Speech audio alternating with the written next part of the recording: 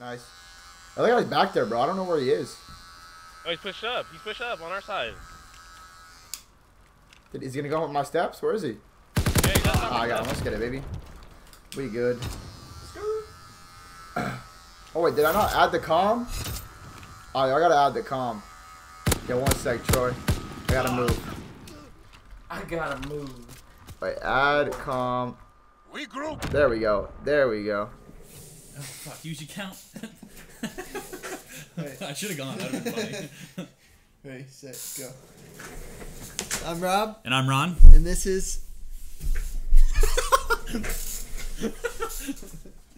Ready, set, go. I'm Rob, And I'm Ron. and this is the recap, your source for unbiased, unfiltered esports news. And we hope you guys enjoyed that clip at the start. It was Attach getting a haircut during a GB match. And it wasn't just any GB match, it was a Call of Duty GB match because the new COD dropped, Yep. which we are in love. You know what? Let's let's just throw our record up there real quick. 8 0. You're running the GB ladders. I mean, not Slaying really. it. But uh, yeah, we're having a good time on. Hopefully, Uh, it's not just because we're on Xbox. Yeah, I mean, I'd like to think that We we beat a we beat a seven and zero team yesterday. If that means anything, made them did. made them disband. Nothing feels better than that. honestly, they're they're restarting. But anyway, COD dropped the new one, uh, World War II, boots on the ground, back to the basics, back to fundamentals. Yep. Back to what what made COD COD. Yep. And we're in love. Uh, we're trying to record this video honestly as fast as we possibly can, just so we can go home and play in a tournament tonight. so hopefully this That's the dedication. Hopefully this video turns out good. But on a different note, don't want to give Call of Duty too much credit because they did fuck up pretty bad with launch, Yeah, it was awful. uh, especially one for of Xbox. the one of the worst launches probably. yeah, And they cleaned it up pretty quick for PS4, Yeah. but just because the competitive scene's on PS4, but they just really don't care about Xbox anymore, which I sucks. genuinely don't think they care at all. like I honestly, it was so strange. If you guys didn't hear, Xbox servers on launch day for midnight release were down for like 18 hours, and there's still bugs. Like it's still Yeah, not it's all still the. It's not still sure. 100. percent And you could get into games, but after the game, you would literally like get kicked to the main menu, and then you'd have to like sit there for 10 minutes Yep. trying to join the game again. So Kept getting error code dash dash dash four three eight or some shit. Yeah. I don't know. It it was awful. It was literally torture because. People literally take off work. People skip school to play Yep, on launch day, and it was screwing them so hard. But it was funny seeing Twitter. Twitter was blowing up. Pros were getting pissed. It was affecting like scrimmages. Even celebrities like Post Malone were tweeting like super funny shit. yep. Uh, but yeah, it was fun.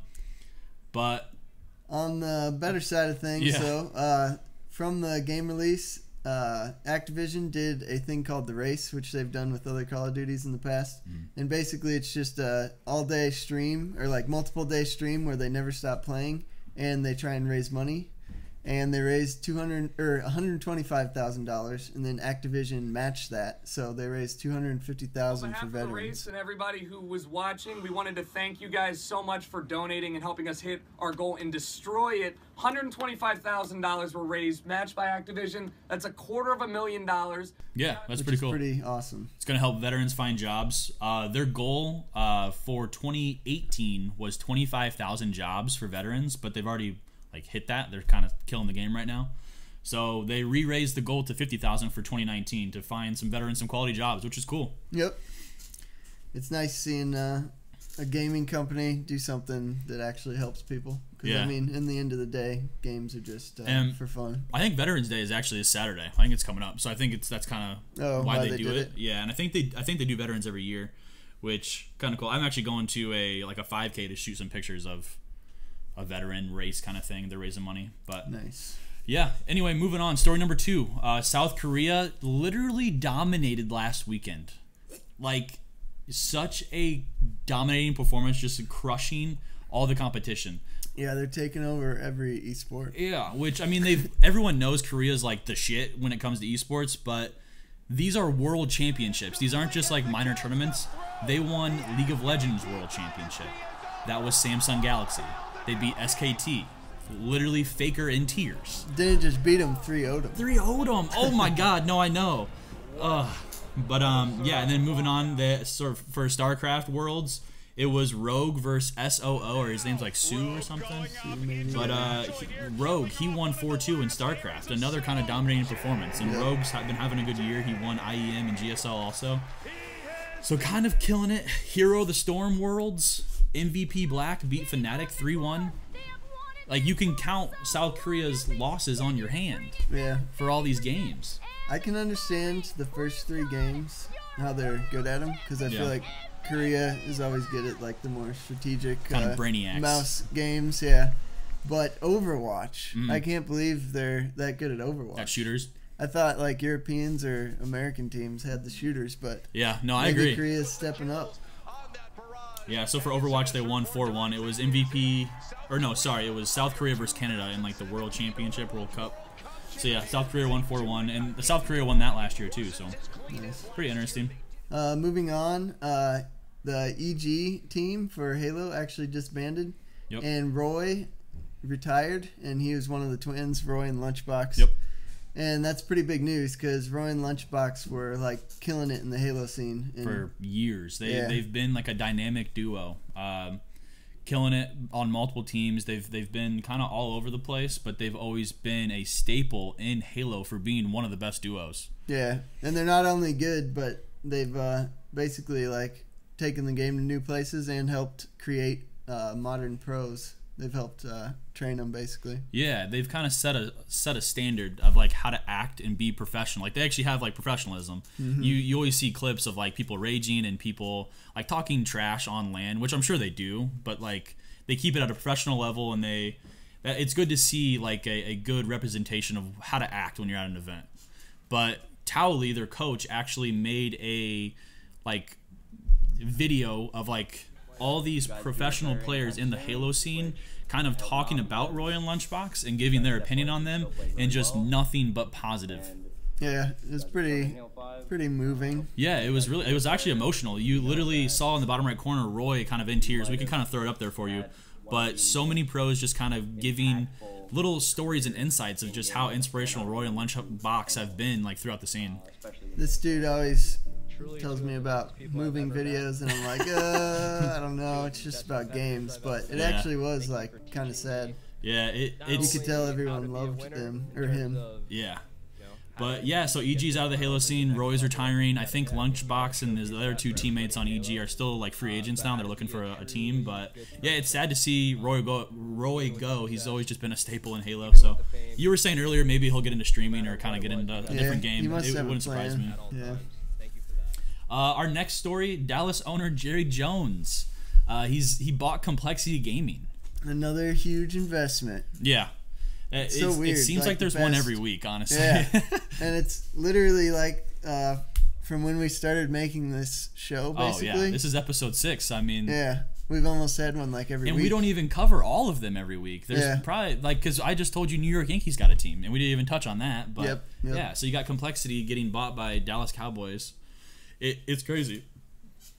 Uh, Complexity, founded in twenty or two thousand and three, had like they really haven't had a ton of success in esports, and they've kind of been like a dying breed. Mm-hmm. But uh, I really hope to see them venture back into COD because they're like they're like m- the favorite team I had for them was their Black Ops 2 team with Aches, TP, Crimsix, and Karma.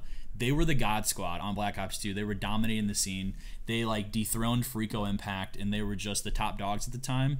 But then that's when like the huge trade with like Optic Gaming went down with Complexity, and they kind of stole Crimsix and Karma. And that's why, like that's why Aches just has that bad blood with Optic, honestly. Just because money got involved. no, I know. Which joining Optic uh, with Crimsix and Karma, that's the best decision they've ever made.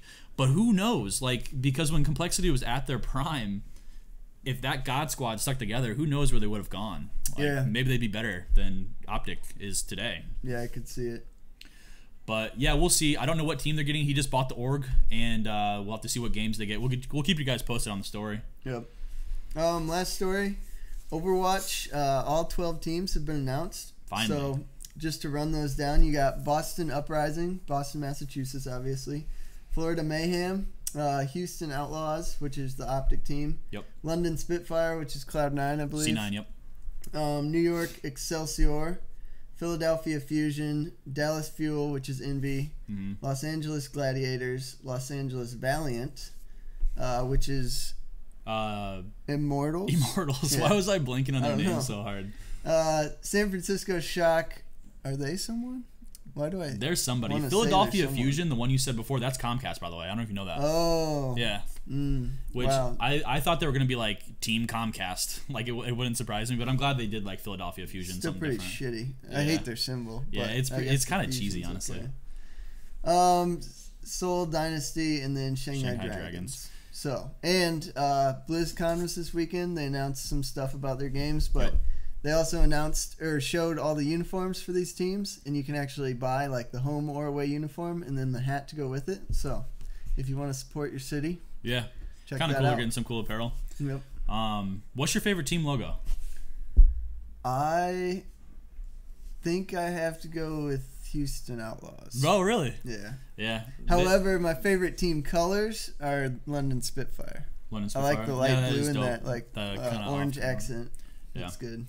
Yeah, I'd have to say either the Valiant or Boston Uprising, like I kind of touched on lap- last episode, because I can see it as like a logo on a hat. Val- oh Which- yeah, I do like the Valiant. Yeah, Valiant's pretty dope. I wish Dallas Fuel would make that flame just look a little bit more like an F, because they literally could. Oh, It's like almost there. it is. Yeah, that's a good and idea. maybe I that's don't know why what they they meant didn't. to do, but Yeah, I don't know.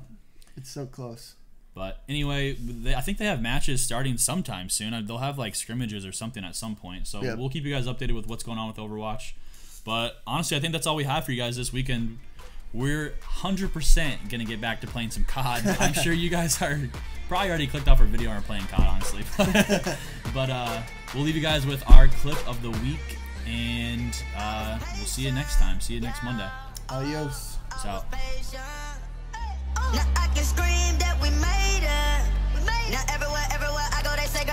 Oh. Young nigga, young nigga, graduation. Yeah. I pick up the rock and I ball, baby. I'm looking for someone to call, baby. But right now I got a situation.